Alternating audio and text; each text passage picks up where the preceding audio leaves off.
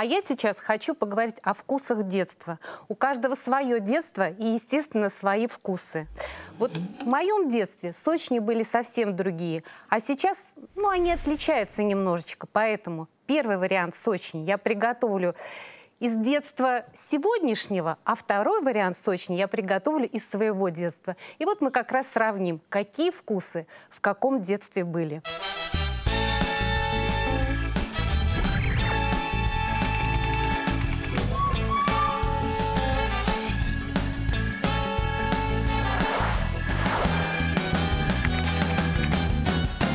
Начну с первого варианта вкуса детства сейчас. Мне понадобится 100 граммов мягкого сливочного масла, 100 граммов, 50 граммов сахарной пудры. И прям сюда на весах я добавляю 50 граммов сахарной пудры. И вся пудра у меня ушла. И взобью это хорошо венчиком. Можно приготовить это все без миксера. Когда вы используете сахарную пудру, с ней надо быть аккуратно, потому что сахарная пудра разжижает тесто. Это будет песочное тесто. Мне понадобится сюда щепотка соли. Совсем щепоточка. Одно яйцо.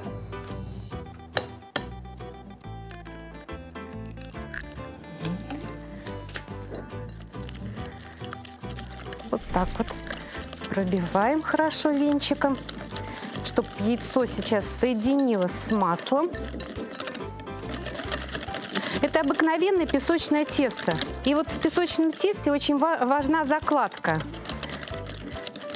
Масло с сахаром всегда сбивается первым, а вот мука и яйцо, вот здесь может меняться очередность закладки. Если положить яйцо последнее,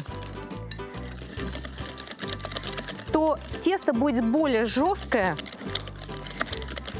такое затяжное. А если муку, то как раз вот эта вот рассыпчатость песочного теста мы и получим. Ну, уже вот так я перемешала. Соберу все, чтобы все граммы остались у меня, которые мне нужны в миске.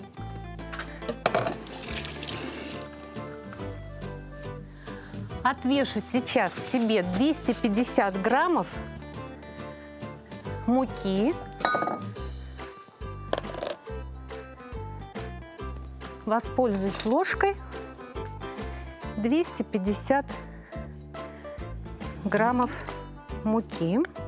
Соотношение в песочном тесте а, такое. Муки в два раза больше, чем масла. Но чем больше вы положите масла в песочное тесто, тем оно будет жирнее и рассыпчатое. Мне понадобится разрыхлитель. Одна вторая чайной ложки я добавлю разрыхлитель в муку. Перемешаю венчиком, чтобы разрыхлитель разошелся в муке равномерно. И высыпаю муку в масло. И быстро здесь надо замешать тесто. Сначала я это сделаю венчиком, а потом уже вручную. Сейчас соединю. И уже руками замешу. Надо делать это все быстро, потому что еще опять один момент работы с песочным тестом. Чем больше вы мнете его руками, тем больше оно затягивается, будет более жесткое.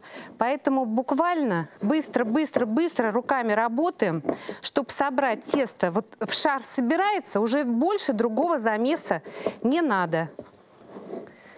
Все, у меня тесто собирается хорошо в шар. Чувствуется вот эта вот песочная рыхлая структура под руками. Соберу все крошечки. Возьму пленку или полиэтиленовый пакет, но у меня есть пленка пищевая. Она очень удобна в работе всегда. Заверну, чтобы не было доступа кислорода, чтобы не заветривалось тесто. Отрываю и убираю тесто на 20-30 минут в холодильник для того, чтобы масло стало кремообразной формы, стабилизировалось, и с тестом будет гораздо легче работать.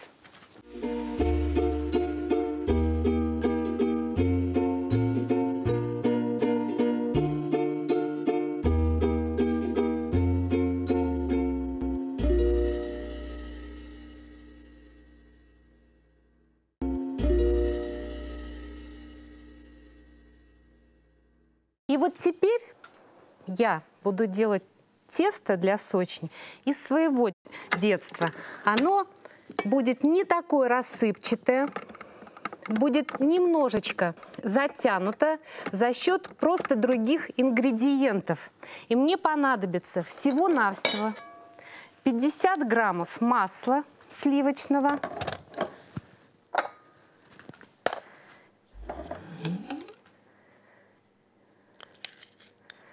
50 граммов.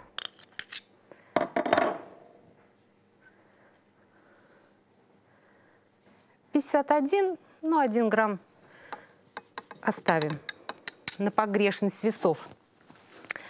Сахар, песок. 100 граммов.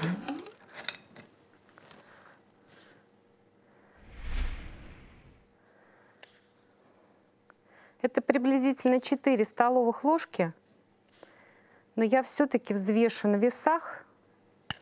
Вот так вот. Отправляю в дежу миксера. И сейчас забью масло с сахаром э, тоже до такого состояния помадки. Насадка называется для э, работы с песочным тестом или лопатка, или весло.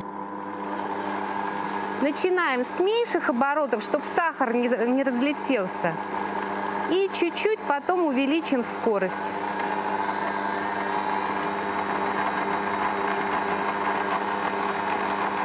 Также добавим щепотку соли. Соль в сладком тесте – это не как обязательный компонент – а это всегда граница вкусов. Сладкого, чтобы вот не было постоянно вот это приторного, сладкого, все равно э, должна сладость чем-то оттеняться. Вот в данном случае соль как раз оттеняет эту сладость. Масло во втором случае я взяла меньше. У меня всего здесь 50 граммов. Потому что по рецепту у меня пойдет сюда сметана. И вот за счет сметаны я компенсирую вот эту жирность мне понадобится 100 граммов сметаны. Сметана хорошая, жирная, поэтому чуть-чуть побольше уберу лишнюю. Отправляю все в дежу.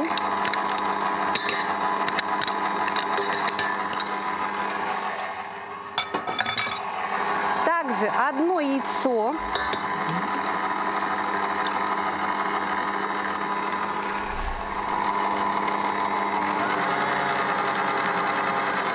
И вот чтобы равномерно все перемешалось, потому что при работе миксером и веслом всегда собираются на стенках ингредиенты. Надо помогать себе лопаточкой. Ну, там один-два раза больше не надо, но обязательно надо помочь, чтобы все компоненты перемешались равномерно. Пока взбивается у меня здесь вот жидкая составляющая, я также отмерю себе 250 граммов муки.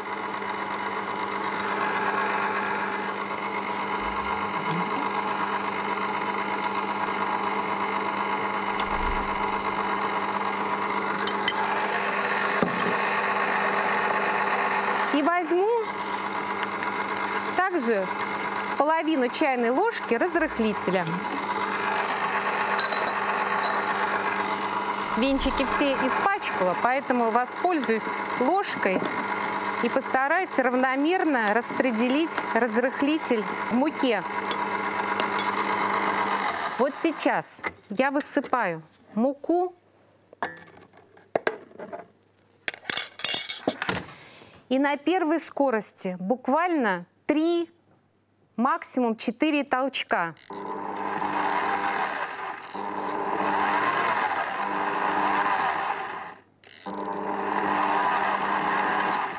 И все остальное я замешу уже руками. Потому что если я дальше буду продолжать замешивать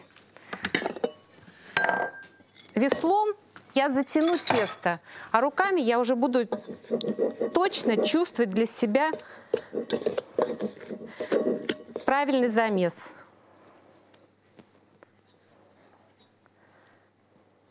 И это тесто, оно даже вот уже в руках по структуре по своей вот а, немножко другое. Оно липнет побольше за счет сметаны к рукам.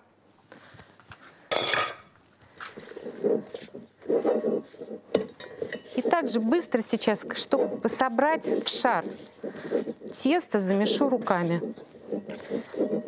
И оно такое э, тянучее. Вот это надо чувствовать вот руками, когда вы начнете готовить и уже будете э, варианты искать для себя теста песочного, там любого другого, вы будете уже чувствовать на ощупь, что оно совсем другое. Вот мягче такое вот, более липкое, чем то а, без сметаны, а на одном масле.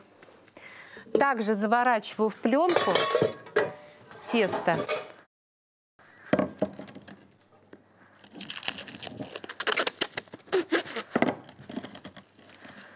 Вот так вот хорошо заворачиваю, чтобы не было доступа кислорода в пленку. И убираю в холодильник также на 20-30 минут. А пока тесто охлаждается в холодильнике, я буду готовить начинку для сочней.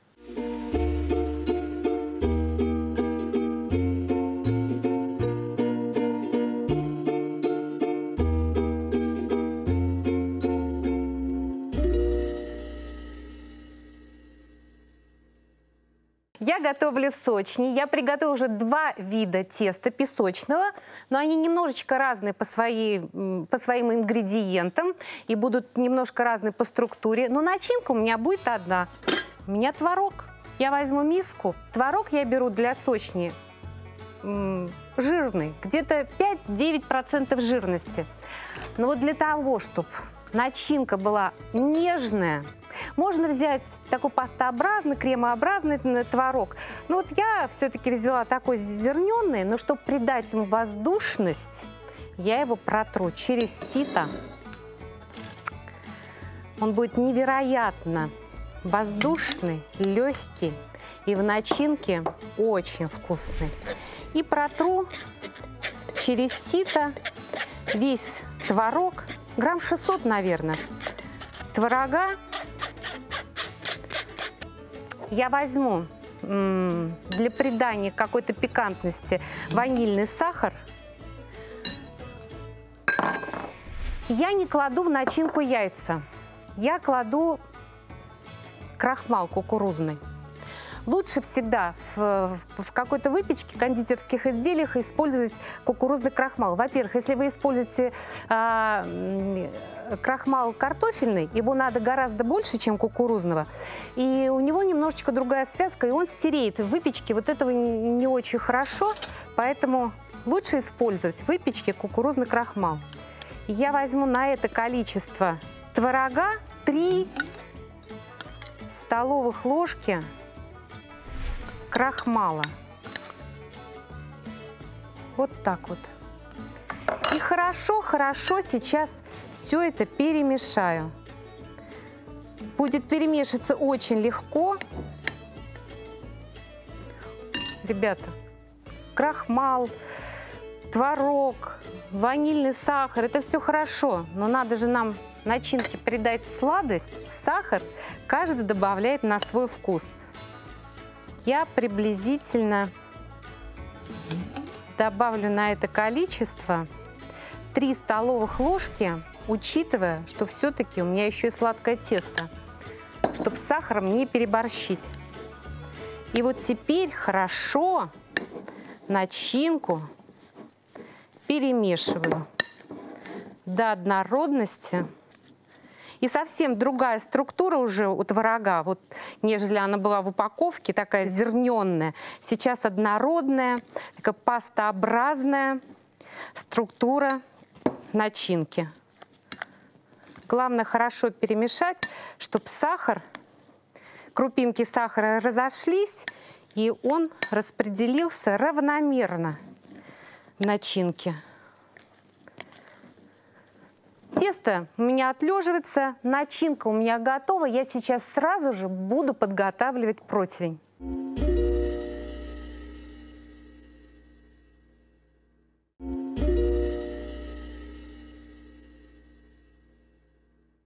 Начинка моя готова. Противень я подготовила. Включу духовку на температуру 160 градусов. Конвекция. И устанавливаю температуру 160 градусов. И пусть нагревается. У меня духовка. И я пошла за тестом в холодильник.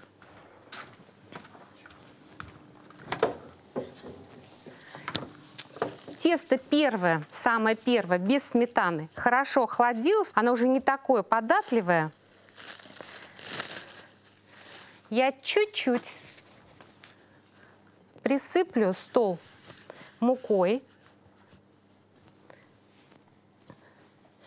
разомну тесто и начну его раскатывать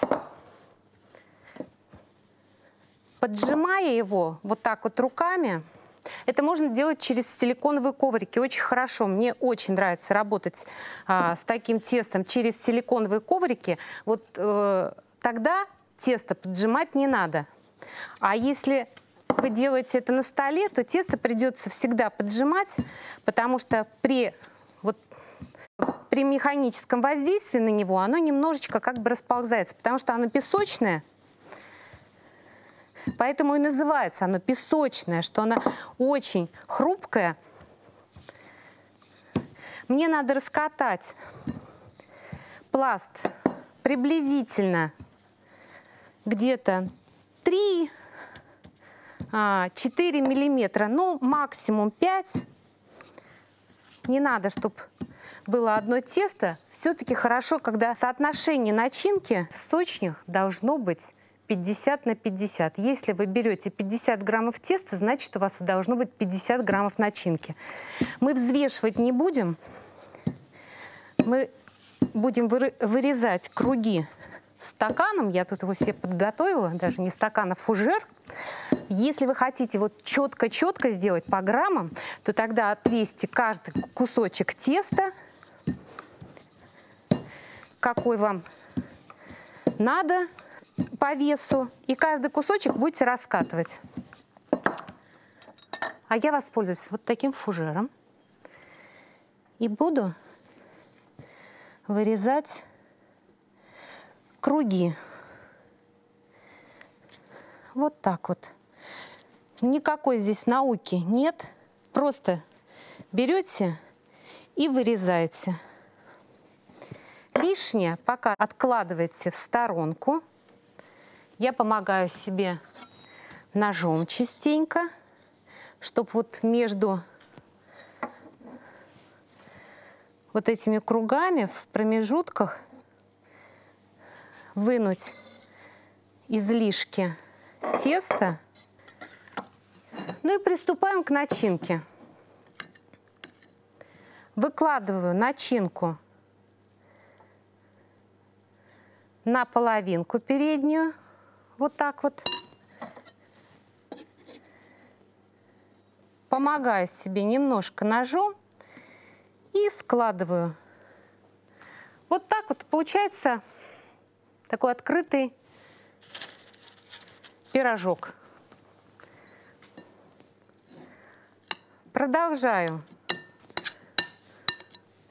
делать все то же самое. Выкладываю на переднюю вот половинку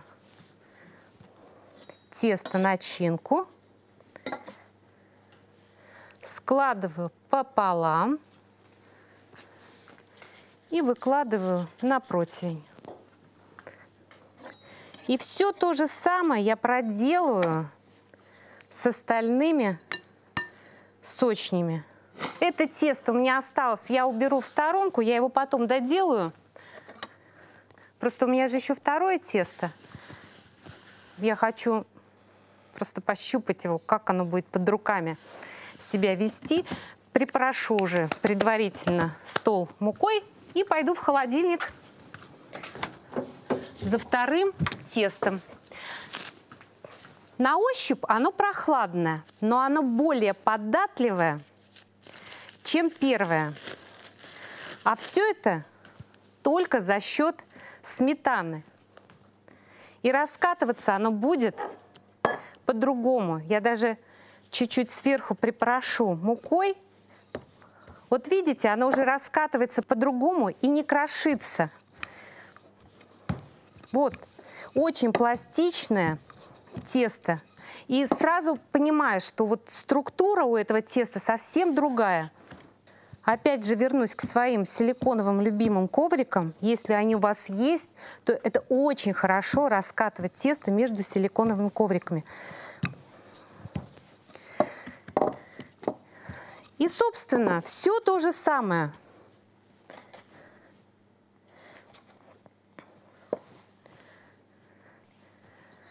Нарезаю круги. Вот брать его уже немножечко сложнее за счет его эластичности. Но выпекаться они будут практически одновременно на одной температуре, поэтому укладываю я их все на один противень.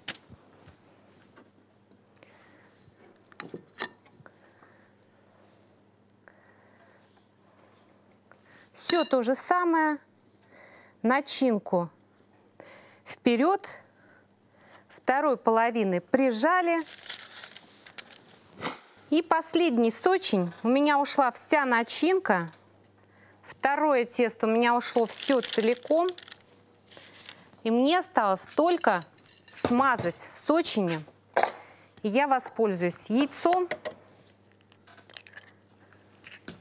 Можно одним желтком, можно желток с белком, можно просто белком, чтобы придать глянец сочнем.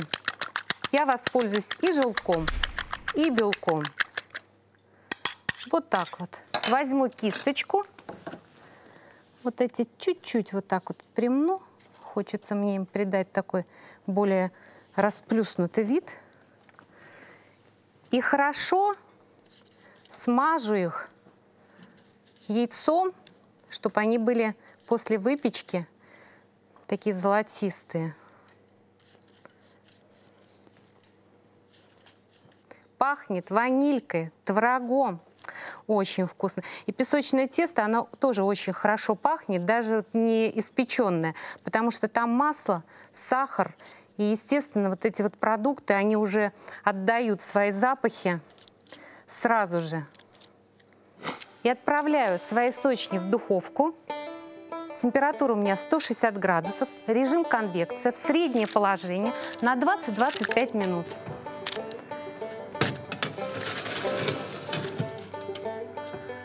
Но осталось только подождать, и мы узнаем, какой вкус детства.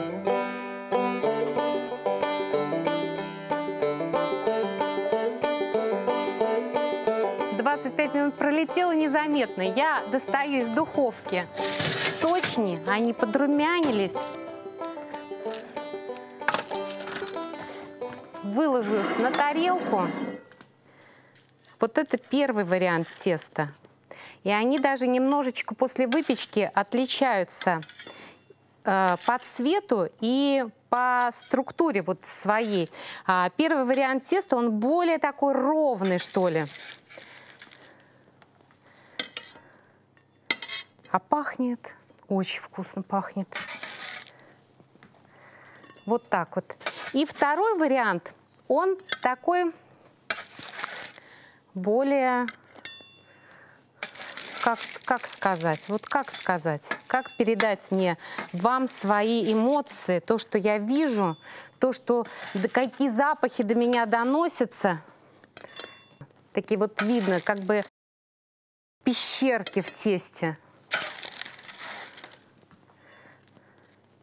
Ну вот, в принципе, сочни уже можно есть э, вот так вот. Но я вот очень люблю такую выпечку. Чуть-чуть посыпать сахарной пудрой. Ну, это вот моя такая фишка, поэтому я это сделаю. Чуть-чуть совсем. Вот припорошу. Мне кажется, и вид сразу у них другой становится.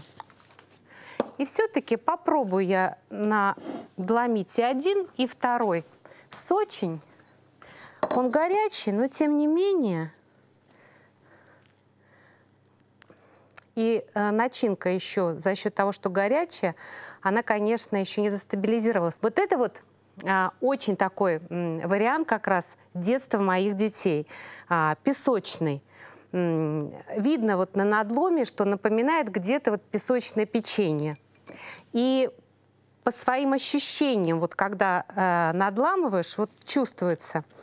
А это такой вариант моего детства э, со сметаной. Он более пышный за счет сметаны. А здесь вот э, немножко другая структура но пахнут они одинаково великолепно, что те, что другие. Поэтому, если вы хотите узнать, какой вкус вашего детства, приготовьте эти сочни и первый, и второй вариант. И для себя определитесь, какого же вкуса ваше детство. Готовьте только с хорошим настроением, у вас обязательно все получится.